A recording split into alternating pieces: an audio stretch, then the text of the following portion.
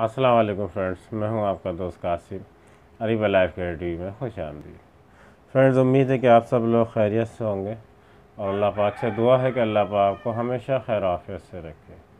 Friends, आज हम जिस मेडिसिन की बात करने वाले हैं, वो है सिना सिना होम्योपैथिक मेडिसिन। तो ये बच्चों में ज़्यादा इस्तेमाल की जाने वाली मेडिसिन है मतलब इसमें कीड़े वगैरह पेट में हो जाते हैं।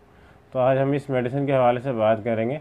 तो नए आने वाले दोस्तों से गुजारिश है जिन्होंने अभी तक चैनल को सब्सक्राइब नहीं किया है, वो चैनल को सब्सक्राइब कर लें और बेल आइकन को ज़रूर प्रेस कर लें, ताकि मेरे आने वाली मज़ीद वीडियोस की नोटिफिकेशन आपको मिलते रहें और आपके नॉलेज में इजाफ़ा होता रहे। तो चलिए शुरू करते हैं। फ्रेंड्स, सीना जो होम्योपैथिक मेडिसन है, ये तकरीबन बच्चों में ज़्यादा इस्तेमाल की जाती है। उन बच्चों में जिनको पेट की कीड़ों की शिकायत होती है। तो सबसे पहले बात करते हैं इसके सिम्टम्स क्या होते हैं। इसकी अलामत क्या होती हैं? अगर आपने बच्चे को इस मेडिसिन का इस्तेमाल कराना तो आपने उसके सिम्टम्स देखने होंगे सबसे पहली अलामत जो होती है, आपका बच्चा जो है, वो दाँत पीसता है। सोते में या जागते में उसको दाँत पीसने की शिकायत होगी। हर वक्त वो दाँत पीसता रहेगा। तो ये पहली अलामत होती है। दूसरी अलामत ये होती है कि बच्चा जो होगा, वो आपका नाक रगड़ेगा। हर वक्त उसके नाक में खारिश होती रहेगी। ये सीना के जो सिम्टम्स होते हैं, ये उसमें से दूसरी अलामत है।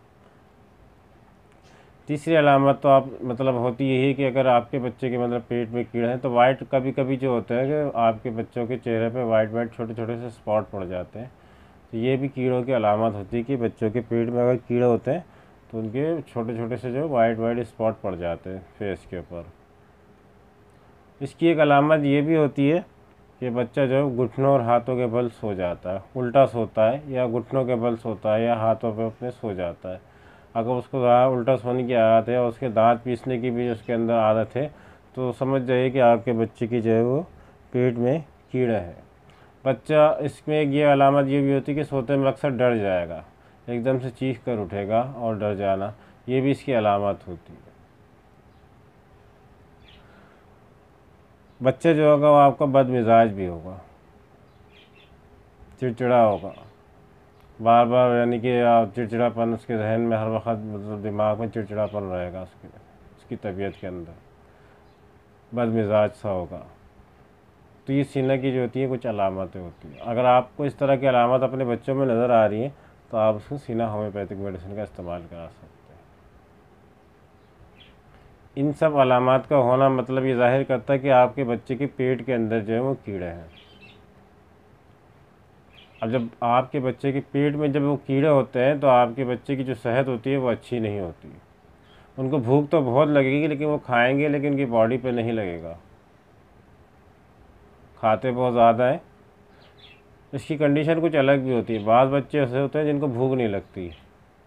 और बाद बच्चे ऐसे होते हैं, जिनको भूख बहुत ज़्यादा लगती है। लेकिन कितना ही खा ले, लेकिन जो है, वो उनको इससे फ़ायदा नहीं होगा, उनकी बॉडी के ऊपर वो लगेगा नहीं। खाया पिया उनका बिल्कुल महसूस ज़ाया जाता है, क्योंकि वो कीड़े खा जाते हैं। तो ये इसकी कुछ अलामत होती हैं। तो आप ऐसे बच्चों को जो वो सीना होम्योपैथिक मेडिसिन का इस्तेमाल करवा सकते हैं। तो आप किस पोटेंसी में इस्तेमाल कराएँगे? चलिए इस बारे में बात कर लेते हैं। तो आपने सीना जो है वो थर्टी पोटेंसी में इस्तेमाल करानी है। आठ से दस साल की उम्र के जो बड़े बच्चे हैं, उनकी बात कर रहा हूँ मैं। छोटे बच्चे हैं तो आपने डॉक्टर से ज़रूर मिले। आप किसी भी बच्चों को दे रहे खैर आपको डॉक्टर से ज़रूर मशवरा करना चाहिए। लेकिन जो स्टैंडर्ड डोज बता रहा हूँ, कम से कम आठ से दस साल के बड़े बच्चे, उनको आपने थर्टी पोटेंसी में देनी है। एक ड्रॉप सुबह, दोपहर, शाम आपने देना है एक चम्मच पानी के साथ। खाने वाला एक चम्मच होता है, उसमें आप एक ड्रॉप डालें थर्टी पोटेंसी में और सुबह दोपहर शाम आप इसको तीन टाइम इस्तेमाल कराएँ तो इन ही अगर आपके बच्चे के पेट में कीड़े हैं तो इसमें बहुत अच्छे रिज़ल्ट आपको देखने को मिलेंगे और बहुत जल्दी इससे अफाका हो जाएगा। फ्रेंड्स आप कोई भी मेडिसिन इस्तेमाल करते हैं तो आपको एहतियात की बहुत ज़रूरत है। आपको डॉक्टर की राय ज़रूर लेनी चाहिए। किसी मेडिसिन को इस्तेमाल करने से पहले अपने डॉक्टर का मशवरा ज़रूर ले लें। अगर आप मेडिसिन को डॉक्टर की गाइडेंस में इस्तेमाल करेंगे तो इन आपको कभी भी जो है नुकसान नहीं होगा। वैसे होम्योपैथिक के कोई साइड इफ़ेक्ट नहीं होते। लेकिन मेडिसिन इस्तेमाल करने से पहले अगर डॉक्टर की राय ले ली जाए तो ज़्यादा बेहतर है।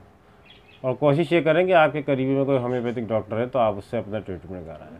सेल्फ मेडिकेशन से बचें, बाकी आपकी अपनी मर्ज़ी। तो फ्रेंड्स उम्मीद है कि आपको वीडियो अच्छी लगी होगी। वीडियो अच्छी लगी हो तो लाइक करें शेयर करें सब्सक्राइब करें और बेल आइकन को ज़रूर फ्रेंड्स मिलते हैं अगली वीडियो में किसी नए टॉपिक के साथ। दुआ में अपने भाई को ज़रूर याद रखिएगा। अल्लाह